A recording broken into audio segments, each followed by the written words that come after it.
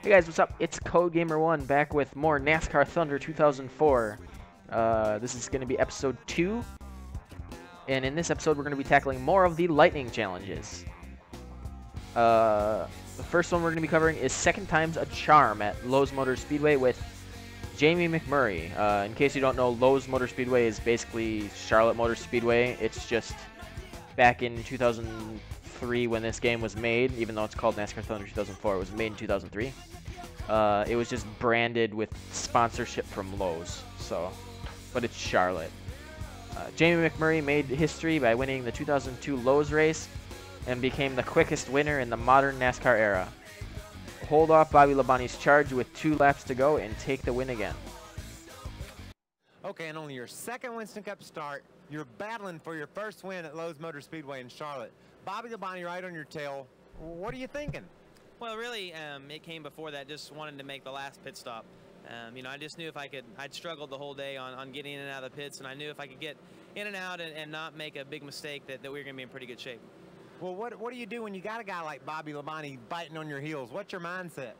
Well, just trying to hit my marks and um, just just stay focused and, and not really worry about him behind me. It's so easy to, to worry about what the guy is doing behind you and, and not really focus on what you need to be doing. So really just tried to look out the windshield, not pay attention behind me. Well, you're going into your rookie full rookie season in 2003. Rookie of the Year honors obviously a goal. What about other goals you have set for your team? Well, just to be consistent and, and not run well just at mile and a half tracks. That seems to be where Ganassi's the strongest at, but but to try to run well at road courses, short tracks, and, and the super speedways also. Well, let's get in the game and try to see if you can get him that first win at Charlotte like he got himself that.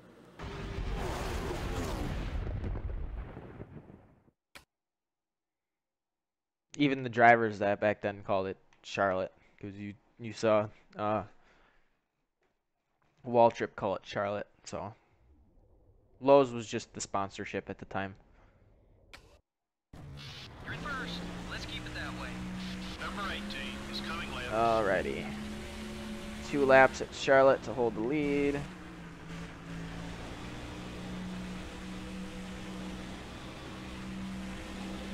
Car seems pretty loose, actually.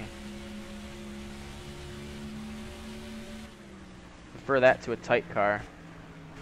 Although it's going to be tight when you drive it in too hard. No matter how loose it... thanks, Stewart! What the hell was that? There's plenty of room on the track. Let's stay on it. I barely touched him and he went up the track. That was not enough to force him up the track. He did that.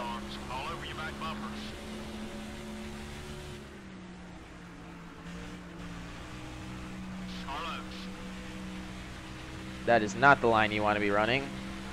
number 18 is still there. All clear, buddy. Whoop. Not, not the line you want to be running again. 18 car is down low. Number 18 is still there. Careful.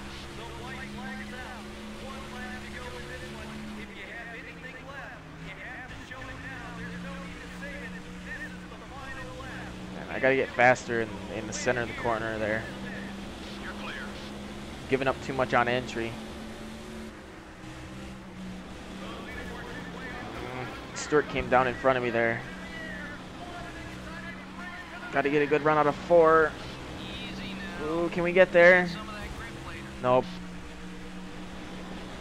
Alright. Temp 3. I gotta hold that low line and not let them get there.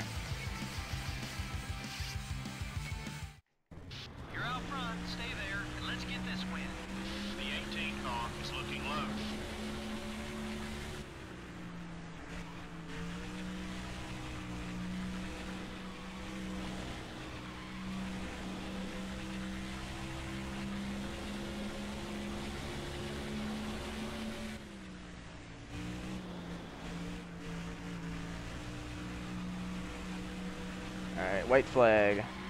Ooh, it's very loose out of turn 4. On, buddy. You gotta What? That's part of the track! Are you kidding me? Okay, I can't use the low line going through the tri-oval, I guess. Number 18 wants to get by you. That's interesting. Got one down low. All clear, buddy.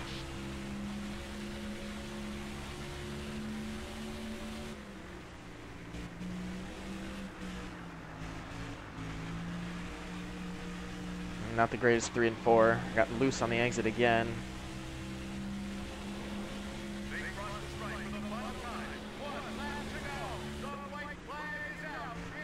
Oh, here comes Bobby.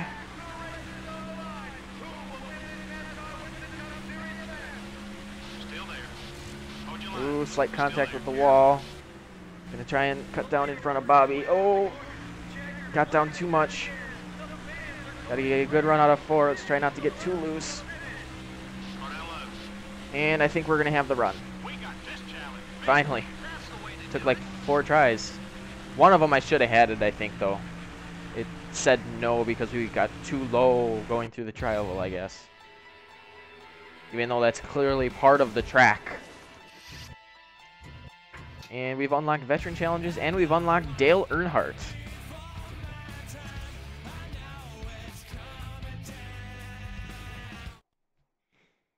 Oh, and I forgot to look up between episodes how to unlock the fantasy tracks. Alright, so close. Infineon Raceway, Jerry Nadeau. Jerry Nadeau was in position to win the 2002 Infineon race when the when the rear end broke with three laps remaining. This time the car will hold together. Hold off Ricky Rudd with one to go for the win. Jerry, last year at Sears Point, you had it won. Five second lead, couple laps to go in the car breaks. Explain the disappointment. I tell you what, it was pretty frustrating, but uh, overall we had a great car. We were running well, we were leading the race. We had a five-second lead over Ricky Rudd, and uh, coming off the last turn, gear broke. It's one of those deals in Winston Cup racing.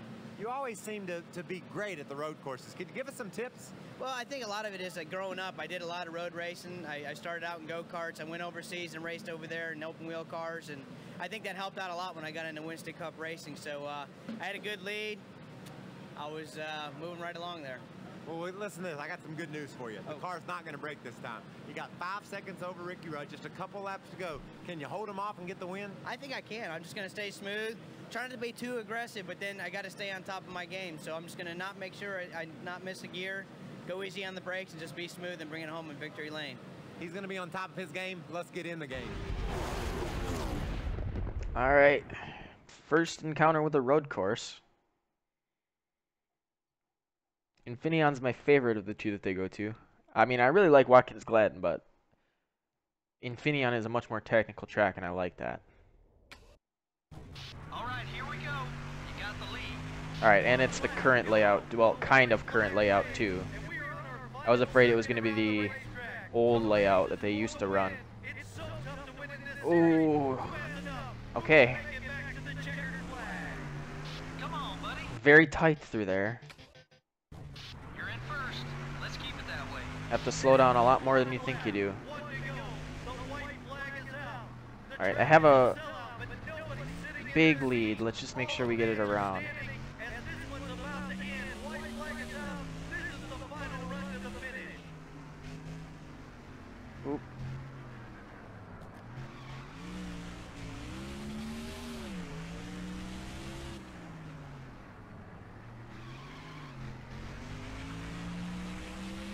I don't know if that area to the left is considered off the track, so I'm trying not to go over there. Oh.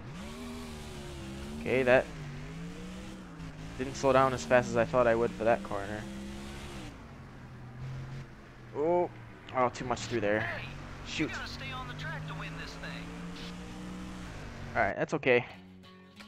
Not gonna get every corner right Get a mad dash to the finish. when I'm learning how to drive the track in this game.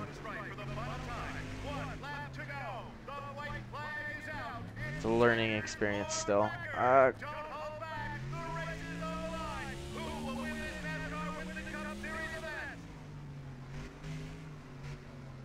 ooh.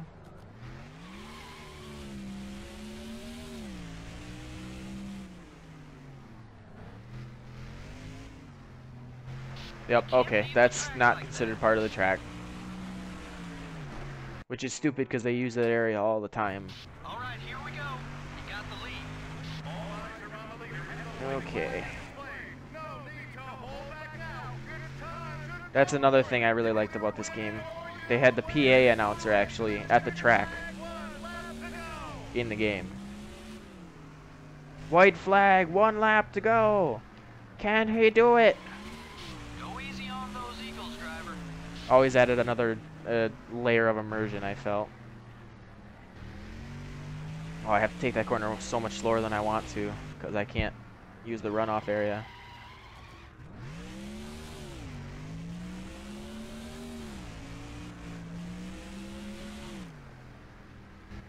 Oh, that corner is way tighter than plenty of room on it is Let's stay on it. actually, I think.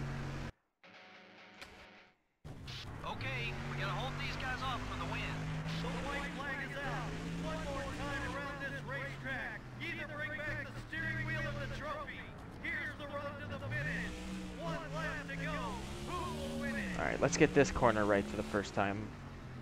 Hopefully. Oh, nope. Still a little bit too fast.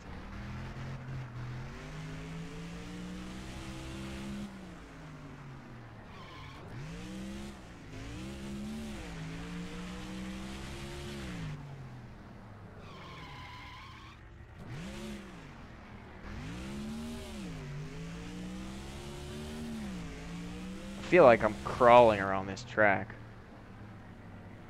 Ooh, even that's a little bit too fast.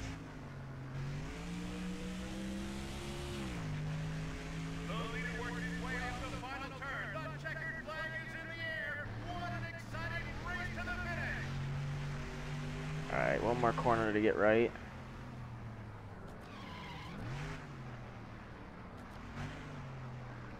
And that was decent. And that's that challenge down. Was a slow lap though. Look at the best lap in the bottom right corner. It was a 111 and that was a 114. Alright, that's what we're looking for. Gonna have to figure out how to drive that track better. Alan Kulwicki. That's cool.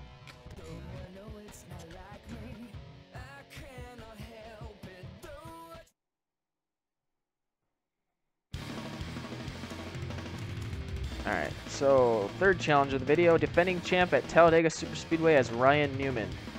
Ryan Newman won the 2002 EA Sports NASCAR Thunder Challenge by defeating Jimmie Johnson and Kevin Harvick. Adding Jeff Gordon to the lineup, you get two laps to defend his title. Ryan, 2002 was a big year. Nothing any bigger than winning the launch party, though, right? Yeah, that was pretty cool. Um, racing against Jimmy and uh, Jeff and Kevin there, we had a lot of fun. Uh, 2003 game's pretty awesome EA Sports, and uh, just had a lot of fun that night.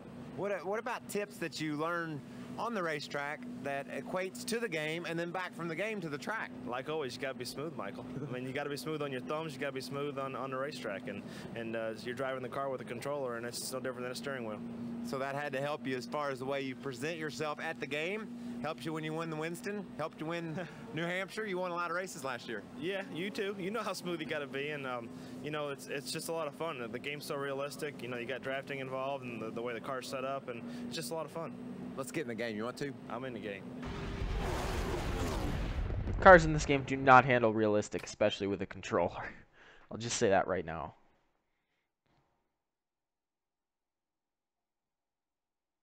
It's not it's not a state-of-the-art handling model is what I'm trying to say. Obviously, if you go too fast into a corner, it's not going to make the corner, but it's definitely not iRacing level physics. Got one outside. You're clear. And when I think realistic driving, I think iRacing level physics.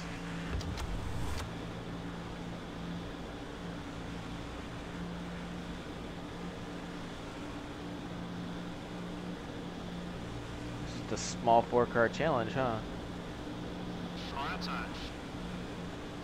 Number 29 is right behind you. Okay, we're clear. Trying to draft back up there.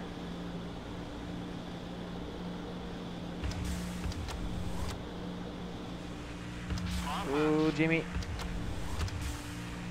We gotta run on Gordon here.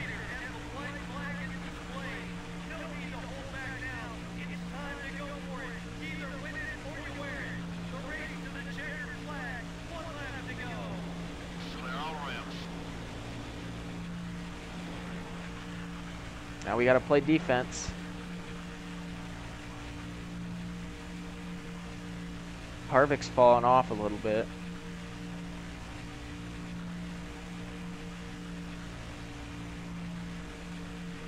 Jimmy's trying to make a run at us. Gordon's kind of fallen off, so we really only have to worry about Jimmy now. If we just hold the low line, we'll have him. And that's that challenge done. You conquered this Woohoo. Nice work. That's another challenge completed.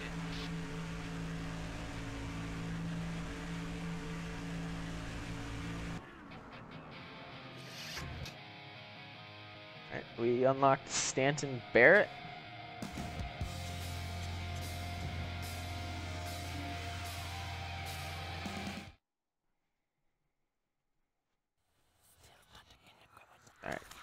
Two more challenges for this video.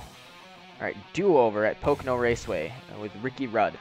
For the second week in a row, Ricky Rudd blew a tire while leading with only a few laps left. This time the tire will not blow, and Ricky will have to pass, pass Jeff Burton with two laps left for the win. Ricky appeared a couple of times last summer. You had races in the bags, and you cut tires. What's that feel like? Well, Michael, it's probably the, you know the biggest disappointment of your life. You're you know you've got the adrenaline flowing. You're you look like you got things under control. Look like you you know shaping up to win the race, and all of a sudden it just ends just like that, like you like you flip a switch. It's uh, it's hard to put it in words, but it's a tremendous disappointment. It seems like you've got Pocono figured out. You really know how to get around that place. Tell us some tips about Pocono. Well, Pocono is like a big road course, and road courses have been pretty good to me over the years. But Pocono is pretty simple. You drive it down in turn one, use a lot of brake, jam a gear, downshift one gear, make the turn, and then up the next straightaway. It's a lot of you know a lot of horsepower helps a lot at, at Pocono. Uh, tunnel turn, uh, some guys shift, some guys don't. We leave it in high gear. Uh, actually, leave it in third gear, run through that corner, and uh, keep the momentum going as much as you can. Keep the car really rolling. Uh, keep that speed up as much as you can so you enter the short chute with a lot of speed. Uh, besides that, you hit the last corner, just keep the car keep the car rolling. That's probably the biggest trick to, to Pocono. I got some good news for you. There's a couple laps to go at Pocono. You're not going to cut a tire this time. You're going to try to win the race. Can you do it? Well, we're- we're up for the challenge. Let me put it that way. Let's get in the game.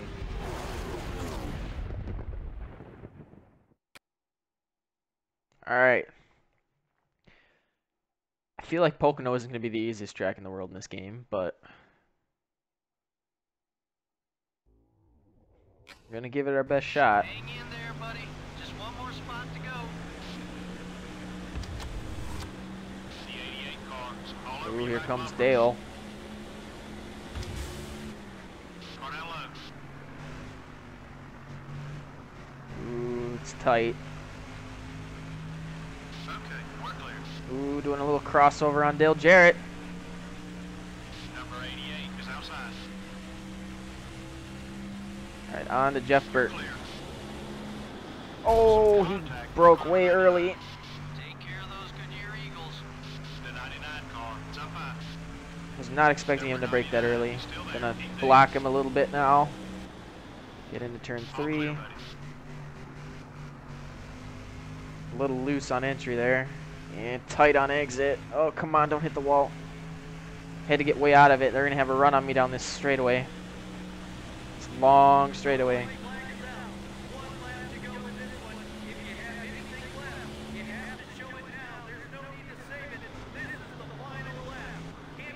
Ooh, a little loose. Tight on exit again. Seems really loose on entry and tight on exit. Two more turns to go. Ooh, okay. Maybe Jeff Burton did break at a good time. The 88 car has got a run on you. Got one down low. Gonna have to fight Dale Jarrett through turn three.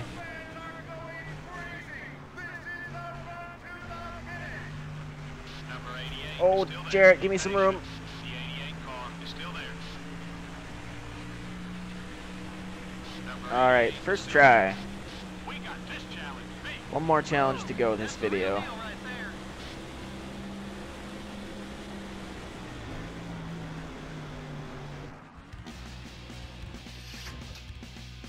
Oh, we got Ron Hornaday.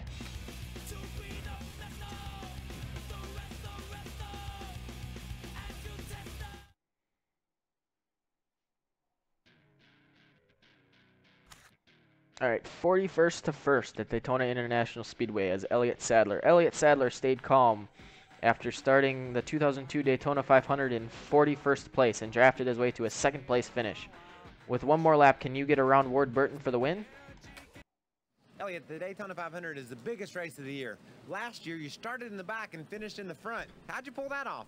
That's pretty confusing thought, ain't it? Um, just being patient, staying in line all day, drafting with guys like you that I know that are going to the front, kind of uh, just picking a line and staying in it. And you stay in that line, save your tires on the outside, and just kind of work your way forward. We missed a big wreck. That was a big part of it.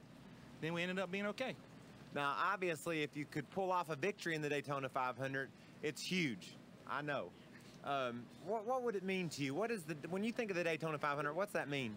I think that's something that can definitely change your career as a race car driver. To have that sit on your mantle at home, and uh, that's something that seems like every time they introduce you, you are the such and such year Daytona 500 winner. And I know what it's done for your career and, and, and helped you with your confidence and all this on the speedway. You seem like you've taken off since that. So um, it'd be a big win uh, for you and your team. It's something that your team works all winter for.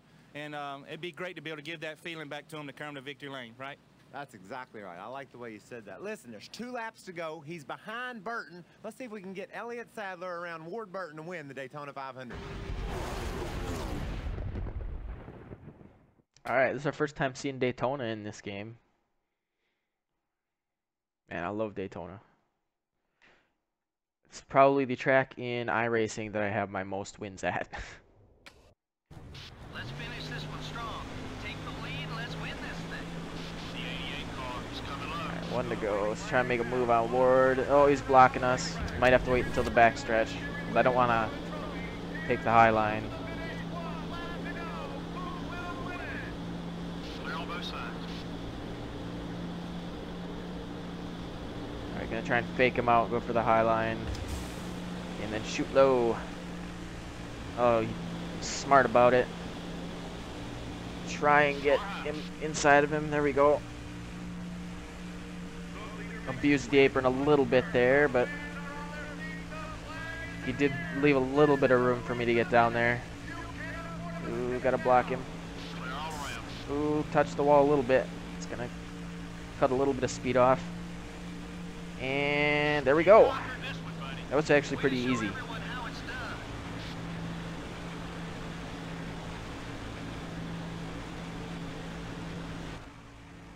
All right. Well, that's gonna be the last one for. Oh, there's a there's a fantasy track, Sawmill Speedway. I remember that one being pretty fun. It's a nice short little road course. So I think you just randomly get your thunder plates. I don't think there's anything specific you have to do. Um, but yeah, thanks for watching, you guys, and I'll see you next time where we'll be doing the next five lightning challenges, which will be uh, at 2002 Homestead with Tony Stewart, uh, Daytona with Michael Waltrip, uh, Darlington with Ricky Craven, Texas with Ricky Rudd, and oh, I guess that's the last of the rookie challenges. So I guess in the next video we'll be doing four challenges instead of five, because uh, there's really no reason to move forward at that point. I'd rather just finish this up, uh, finish up rookie, and then leave veteran for the next video. But yeah, thanks for watching. I'll see you guys in episode three.